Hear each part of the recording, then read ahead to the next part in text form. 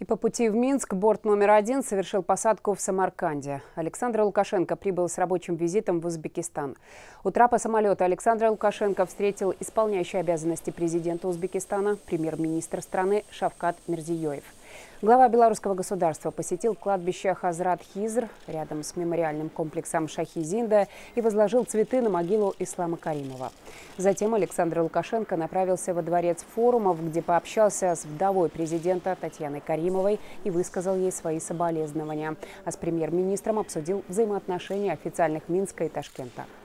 Этот визит не таким должен был быть. Ну что, жизнь идет, продолжается ее не изменишь. Ну а наша с вами задача сделать так, чтобы вот этот терпеливый узбекские и белорусские народы, э, очень талантливые, они имели достойное взаимоотношение.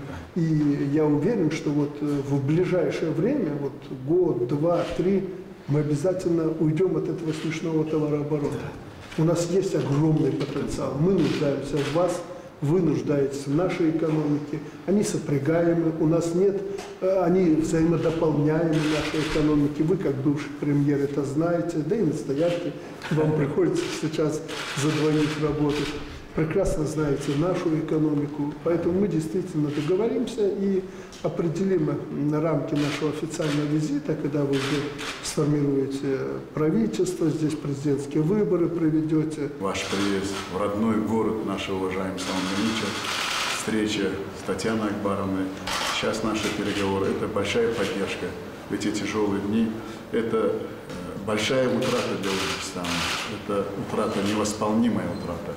И вот когда мы чувствуем плечо э, настоящего друга, который э, эти, эти тяжелые минуты поддерживает, э, это, я думаю, сегодняшний ваш визит, народ Узбекистана, и еще и еще раз благодарит. И я думаю, сегодня все, вся республика наша ощутила вот ту искреннее отношение ваше к Исламу Абдиганичу, к народу Узбекистана.